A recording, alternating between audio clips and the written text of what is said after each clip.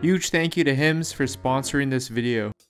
If you ask the average gym goer what the most important hormone is for muscle growth, they'd probably say testosterone. And in this case, they'd be right. Study after study has demonstrated testosterone's ability to enhance muscle growth. Take this paper from Bhasin and colleagues for example. Eight men were injected with 600 milligrams of testosterone over the course of 10 weeks, which rose their testosterone levels to roughly three times higher than the highest testosterone levels you can expect to achieve naturally. As a result, despite no resistance training whatsoever, these men were still able to gain 7 pounds of lean muscle and improve their overall strength, which is a feat that would likely not be possible naturally. Now this is pretty cool and all, but the real question is how would naturally increasing your testosterone levels affect muscle growth? Well the truth is, it's relatively unclear at the moment, but a few studies are able to provide us with some insight. One 2016 study by Mouser and colleagues states that testosterone levels for adult men can range from anywhere between 240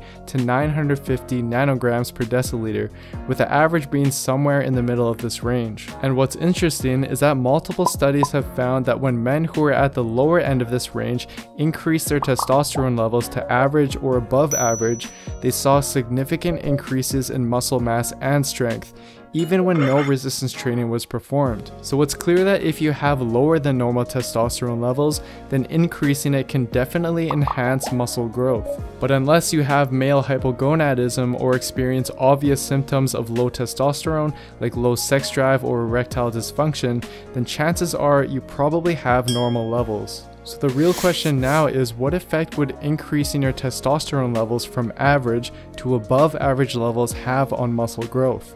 Well again, research is definitely lacking in this area. However, one 2016 study showed that those at the higher end of the normal testosterone range had greater lean muscle mass and lower levels of body fat compared to those with average or below average levels. And this finding was still significant even when race, age, activity, and protein intake was accounted for, which does support the idea that increasing your testosterone levels to the higher range naturally may very well enhance muscle growth. Research also illustrates that testosterone plays a big factor when it comes to fat loss. For example, this 2003 paper showed that when researchers decreased subjects' testosterone levels from average to below average levels, they saw a dramatic 36% increase in fat mass. In addition, optimal testosterone levels are essential for a variety of other factors as well, and becomes especially important as you age since it helps slow down muscle loss. And since your testosterone levels begin to decrease by around 1 to 2% per year, starting from sometime in your 30s, it would likely be in your best interest to learn what you can do to naturally increase your levels of this hormone. So what exactly can you do? Well, one popular belief is that the large increase in testosterone caused by the use of heavy compound movements is what makes them so effective. Although it's true that testosterone spikes to a meaningful degree after compound movements, this actually doesn't last for very long. And in the words of researcher Dr. Brad Schoenfeld, while I can't dismiss that acute hormonal elevations may play a role in the growth process, I'm quite confident in saying that if such an effect does in fact exist, it would be of small significance. Therefore, relying on this might not be the best approach. So with that being said, let's take a look at a few more effective options for increasing testosterone in the long term. The first thing you can do is to stay within a certain range of body fat that isn't too low and isn't too high. Research shows that as body fat levels rise, your testosterone falls whereas your estrogen levels actually increase. Researchers have noted that this is probably because the more fat you have, the higher your aromatase enzyme activity, which converts testosterone to estrogen.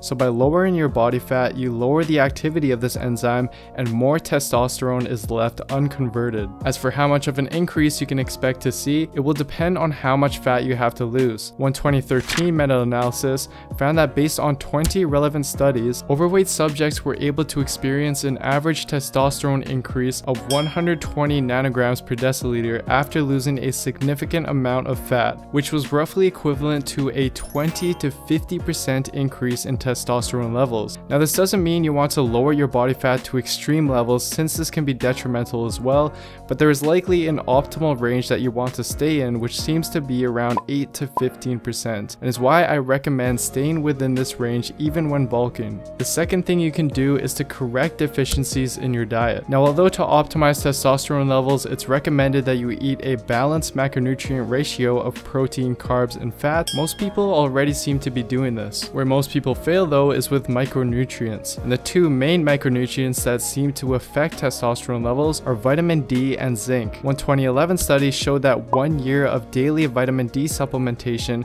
in those who were deficient increased testosterone levels by 20%. And another study from the Journal of Nutrition showed that daily supplementation of zinc in males that were deficient almost doubled their testosterone levels in just three months. And since multiple studies have indicated that zinc and vitamin D deficiencies are in fact very prevalent, I would advise ensuring that you're intaking adequate zinc and vitamin D from your diet or through supplementation, which is actually very affordable. The third thing you can do to increase testosterone in the long term is to get adequate sleep. Multiple studies have shown a strong positive correlation between total sleep time and total testosterone levels, with one study showing that subjects who routinely slept for 4 hours a night had testosterone levels that were roughly half that of subjects who routinely slept for 8 hours a night. In fact, each hour below 8 hours of sleep seemed to drop testosterone levels by around 15%. Therefore, aiming for around 8 hours of quality sleep on a consistent basis would be ideal. Now aside from the previous recommendations, there are various other ways to increase testosterone but are of less significance since the increase is only short term. For example, just being sexually aroused or conversing with an attractive woman is enough to briefly spike testosterone levels to a large degree. Whereas on the other hand, being around a woman while she's crying is enough to decrease testosterone by 12%. But Again, this effect doesn't last for long. So unless you're constantly sexually aroused or constantly around crying women, these won't have a very big impact. Rather, I'd suggest sticking to the three main points I covered and you'll likely be able to make a meaningful difference in terms of your testosterone levels and experience the many benefits that come with it. That's pretty much it for the video guys. Thank you so much for watching. I hope you enjoyed it and found it useful. I also just wanted to quickly thank Hims for sponsoring this video. For those of you who don't know, Hims offers personalized recommendations for prescription and non-prescription hair loss and sexual wellness products for men. And these recommendations are based on the advice of real doctors who you'll speak with online rather than having to visit a doctor in person. And for those of you who are unaware,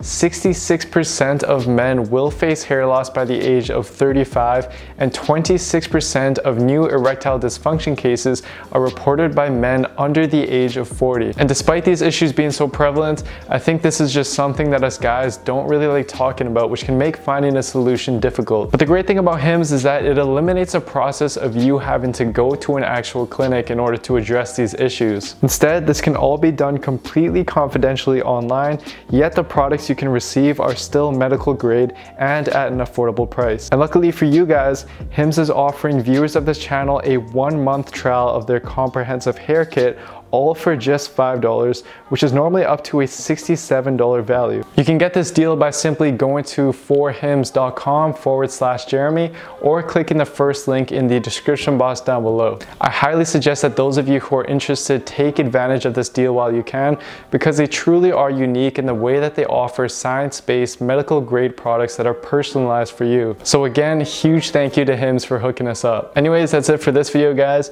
Sorry for my less frequent uploads lately I've been spending my time working on my online programs, which I'm hoping to get up soon, but I'm really excited to show you guys what's included. They've taken me months to put together, but as you guys know, I'm all about providing quality content and that goes for my programs as well. So stay tuned for that. Anyways, thank you again for watching this video. If you enjoyed it, as always, give it a like, leave a comment down below, subscribe to my channel if you haven't already, and I'd also really appreciate it if you gave me a follow on Instagram as well. Thank you so much guys, I'll see you next time.